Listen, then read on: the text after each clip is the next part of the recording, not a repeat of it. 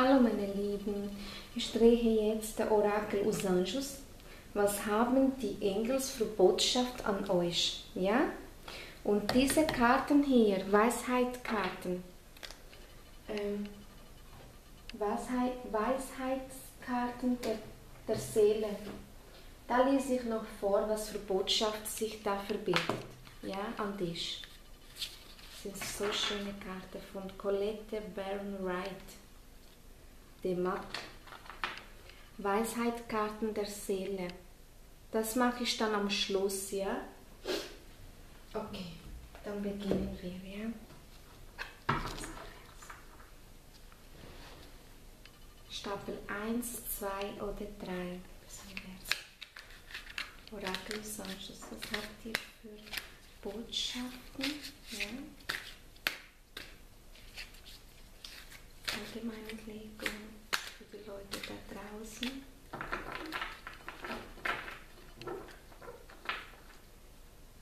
Drei Karten. Karte Stapel 1, Karte Stapel 2, Karte Stapel 3.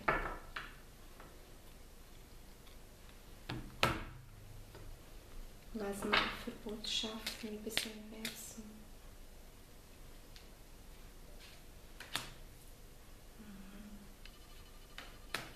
Okay. Sieht mich an. Mhm.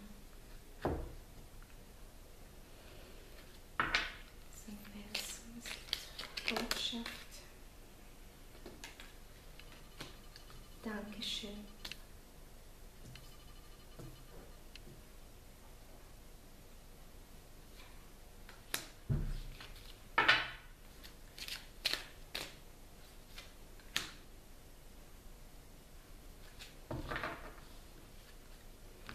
Verschiedene Botschaften an dich, ja?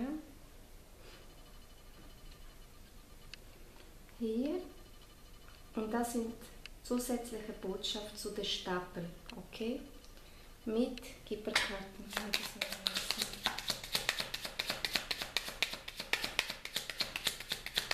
Drei Karten, Stapel 1, 2 oder 3. Gibt's die Botschaften die Leute da draußen? Ich möchte dir ein bisschen sagen. Hm?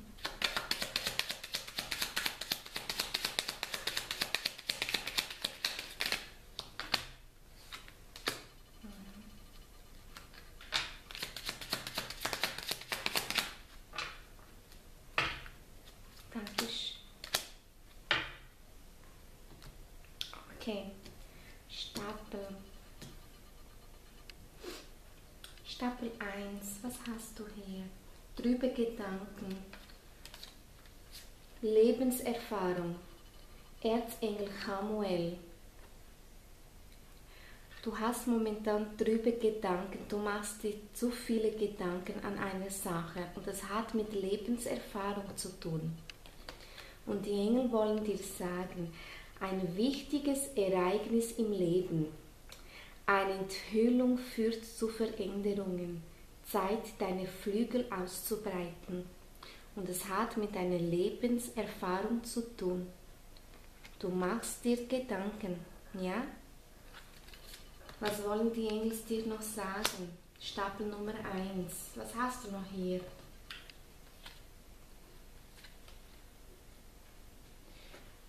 Hier hat es unwahrscheinlich, ja? Irgendetwas, ja, möchtest du in dein Leben oder du wirst erfahren dein Leben oder du machst dir sehr viele Gedanken. Und die Engel wollen dir sagen, unwahrscheinlich. Ja?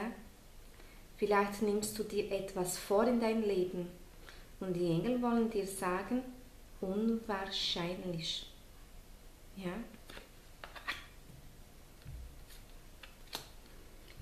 Und sie wollen dir noch mitteilen, Überwinde von Schwierigkeiten.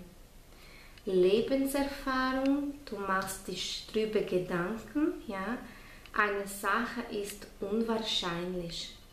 Vielleicht hast du das Gefühl, doch, das wird so sein. das kommt so. Und die Engel wollen dir sagen, so spüre ich, unwahrscheinlich. Du machst dir zu viel drüber Gedanken. Okay? Überwindung von Schwierigkeiten. Du, du willst es überwinden. Ja? Diese Enthüllung, ja, führt zu Veränderung. Ganz wichtig aufpassen, ja. Eine Karte zieht die andere. Versteht ihr? Das ist alles in Resonanz mit dir. Erzengel ist ganz eine schöne Karte. Schau mal diese Engel da. Wow, schön. Sehr schön. Ich liebe es. Es fasziniert mich immer wieder, die, wie wunderschön diese Karten sind. Okay. Erzengel Jeremiel. Überwindung von Schwierigkeiten. Das Schlimmste hast du hin, jetzt hinter dir und du überwindest, siehst du, problemlos alle vorherigen Herausforderungen. Eine wichtige Ereignis im Leben, Lebenserfahrung, drüber Gedanken. Du machst dich Sorgen. Oh, die Karte möchte nicht. Oh, jetzt. Drüber Gedanken. Du bist hier. Da ist ein Mensch, das bist du. Und du schaust nach unten und siehst keinen Ausweg. Drüber Gedanken. Ja, da. Noch einmal, ja, Lebenserfahrung, Erzengel Samuel, ein wichtiges Ereignis im Leben. Eine Enthüllung führt zu Veränderungen, Zeit deine Flügel auszubreiten. Überwindung von Schwierigkeiten. Erzengel Jeremiel, das Schlimmste hast du jetzt hinter dir und du überwindest problemlos alles vorherigen Herausfor Herausforderungen. Okay? Stapel Nummer 1 gewesen. So. Stapel Nummer 2. Oh, wow. Der Stern. Der Stern ist Erfolg. Der Stern ist sehr hochspirituelle Karte. Das ist auch, ich bin, manchmal bin ich einfach baff, wie die Karten Resonanz sind miteinander, wie das ineinander schmelzt. Merkt ihr das? Sehr schön. Danke, danke, danke. Glückliche Zeiten. Plane positiv, optimistisch und langfristig auf den richtigen Weg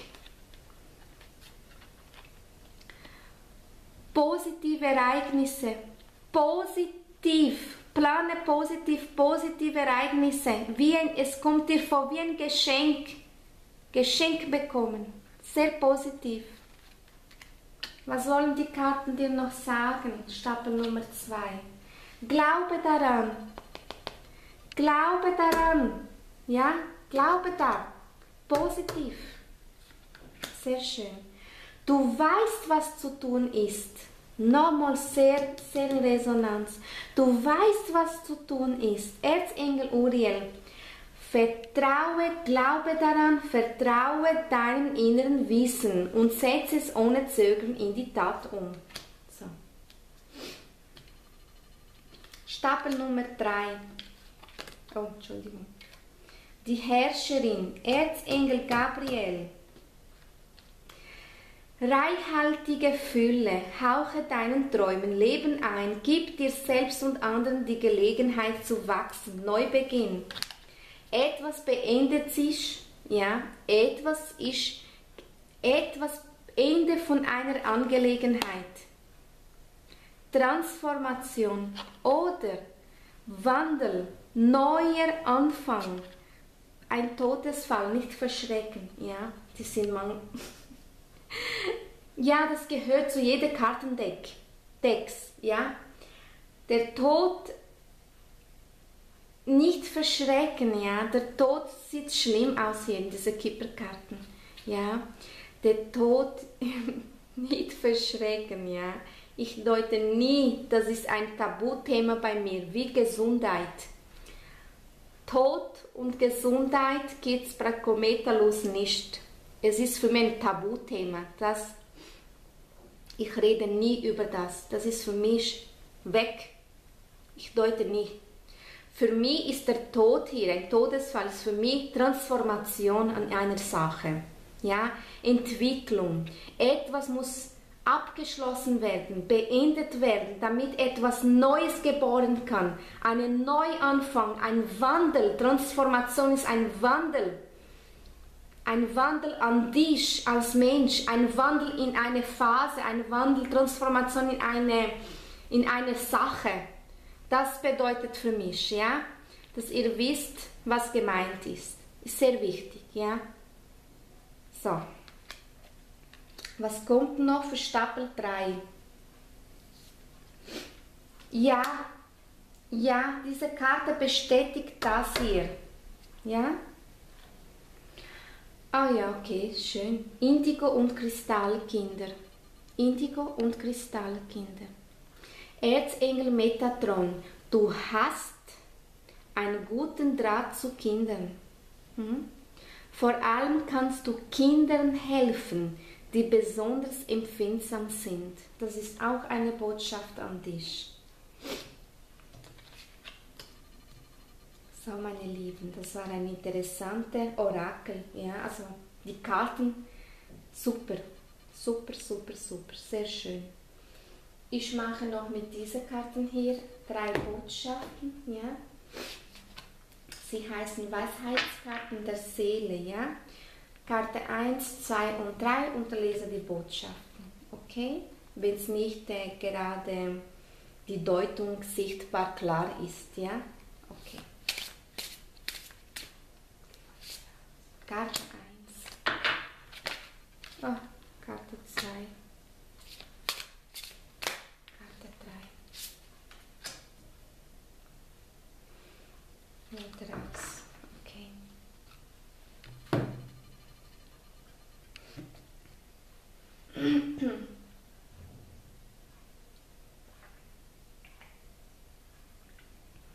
Oh, muss ein Stück, Entschuldigung, Kaffee nehmen. Okay. Weiter geht's. Karte 1. Was hast du hier? Neues Leben. Neues Leben, ja, bedeutet für mich jetzt ein neues Leben, neues Kapitel, neue Phase, etwas beginnt neu. Ja? neue Entwicklung, neue Hinsicht, ja? Okay, neues Leben. Karte Nummer 2 im Sumpf. Karte Nummer 3 Heilung. Wenn du hier gewählt hast, du bist im Heilungsprozess, ja? Bitte, Zauberwort, sich ganz gut merken, ja? Bitte darum, dass dein Schutzengel ja, das Göttliche dich heilt. Du bist im Heilungsprozess. Das kann sein in deinem Innerlich, ja, wenn du eine, eine Phase durchgemacht hast, die nicht einfach war, oder wenn du wieder dein Herz muss öffnen für die Liebe. Heilung, du musst heilen. Bitte um dein Schutzengel dich zu heilen. Bitte darum das Göttliche dich heilt. Ja? Glaube daran, vertraue, ja? Okay. Und was ist Karte Nummer 2, 24? Du bist, das ist Nummer 2, du bist aufgefordert, anzuhalten, um des Wunders deines Lebens inne zu werden. Aufrecht. Sich fest zu fahren ist manchmal das einzige Mittel, um sich selbst zur Langsamkeit und einer ruhigen Betrachtung der Dinge zu zwingen. Wenn du diese Karte erhältst, erhältst ist das ein Zeichen, dass du die Konzentration von deinem gegenwärtigen Tun abziehen und deine Aufmerksamkeit auf, auf anderes richten musst. Wenn du dich abkämpfst, wirst du dich nur weiter in eine verfahrene Situation hinarbeiten. Entschuldigung. Jetzt ist nicht die Zeit, um voranzuschreiten, sondern um beobachtend wahrzunehmen. Nach einer Weile wird sich Klarheit über deine Situation einstellen. Halte inne und erfreue dich an dem, was du bisher übersehen hast. Bald wirst du aus dem Sumpf heraus sein. Jetzt aber werde still und wisse, dass das göttliche Prinzip einen Plan mit dir hat. Ja? Sehr wichtige Botschaft hier, Nummer zwei. Also, alles sind wichtig, aber ich meine, das ist eine wichtige Botschaft. Im Sumpf, ja, in sich hineinkehren, damit man Klarheit erschafft, ja? Okay. So, meine Liebe, wow, das war Orakel Engels, ja, aus Anjos. In Liebe Kometa Luz. Bye.